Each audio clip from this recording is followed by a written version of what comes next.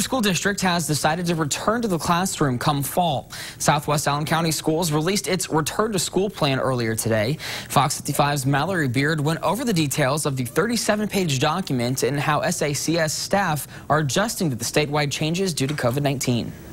Southwest Allen County Schools plan to return to school in the fall. Uh, the plan is two has two options. There's an online option and a return to school option with uh, with some modifications to it, obviously due to the COVID situation. Downs says he's optimistic about the students' return, and after being gone since March.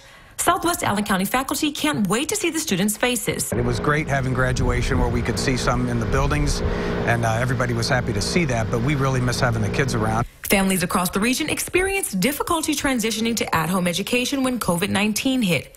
But Downs says that wasn't the case with Southwest Allen County schools. This was our seventh year of doing uh, e-learning when we would have snow days or things like that. But he says the biggest stressor for SAC staff has been coming up with a plan for this year amidst rapid changes of the coronavirus. Uh, even the plan that we just put out is subject to what the governor says, what the president says, what uh, if we learn anything about the medical nature of uh, COVID.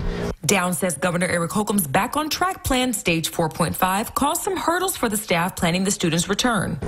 That extension just caused our online registration to not be viable. So now we've got to reschedule that. Though hopeful, the rapid changes are still causing SAC staff to be leery about what the future holds for their students. And the two weeks that he's extended that out gets us very close to the first day of school, so we're beginning to get very nervous about whether we're going to be able to even come back. In Fort Wayne, I'm Mallory Beard, Fox 55 News. As part of Southwest Allen County Schools health and safety protocol, students and staff are expected to self-screen daily prior to coming to school, and face masks are to be worn every day and will be provided.